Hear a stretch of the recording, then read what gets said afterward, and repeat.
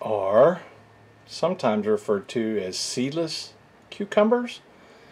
They are actually a cucumber that is parthenocarpic, meaning they will grow even when they're not fertilized.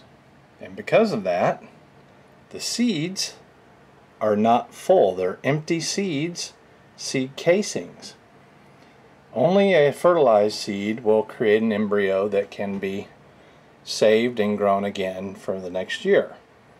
The novelty or the great thing about a parthenocarpic cucumber is that they don't need to be fertilized by bees or wind or anything else. They just grow on their own. What if you could do that with tomato? Tomato is a little bit more of a valued crop than cucumber. In fact, it's the number one crop in the United States. It's the number one vegetable crop in the United States. So what if we could get a tomato to do exactly this very same thing, grow without any fertilization whatsoever? Well, you can. I developed a tomato. You're looking at the next generation right here.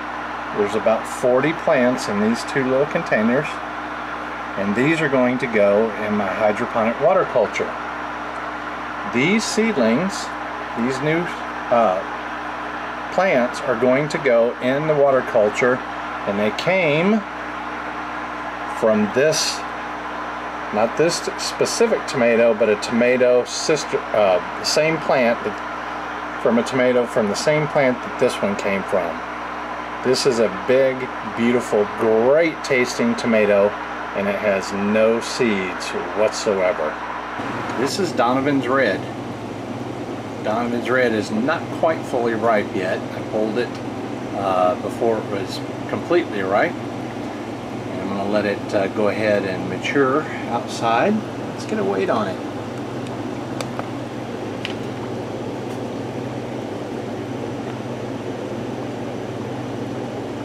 Seven and a half ounces.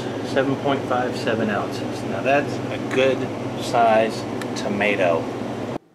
Alright, the only thing left to do is add a little bit of salt.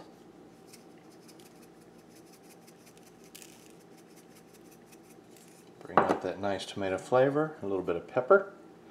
Put it on the white here so I can see how much pepper. much much. Tastes great on its own.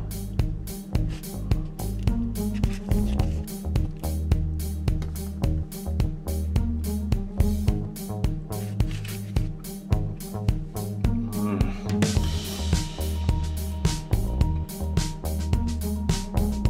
It is so hard to beat a nice tomato sandwich, let me tell you.